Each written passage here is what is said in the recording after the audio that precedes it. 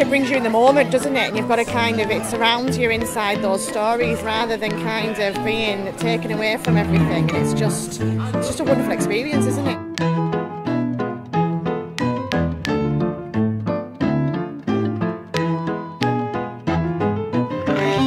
Beautifully simple and stunning. Um, I thought it was a, a gorgeous metaphor for the world around us, the environment, the looking after the vulnerable friendship. Um, but most of all, I thought it was hilarious. I thought it was good and I like I enjoyed it. We loved it, didn't we, Florrie? We thought it was very clever how you showed the seasons and you could guess what season it was, couldn't you? By the different objects they used and the colours they used.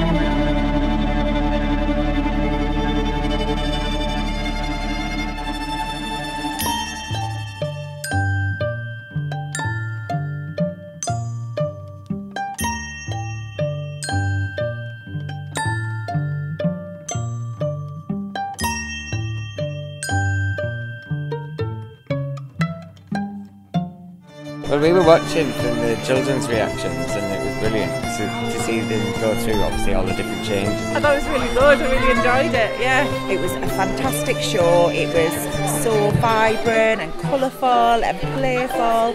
Um, the kids absolutely loved it. Definitely worth every penny. Yeah, we thoroughly enjoyed it. And very entertaining.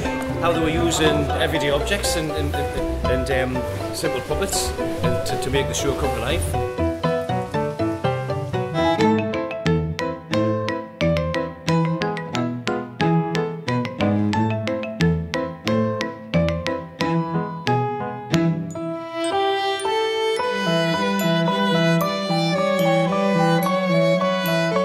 Really enjoyed the butterfly. That was really good because the little one as well could could do, mimic the hand movements. Using it with all the, all through the seasons as well. It's just so clever. It actually blew me away. I think I was nearly in tears at one point.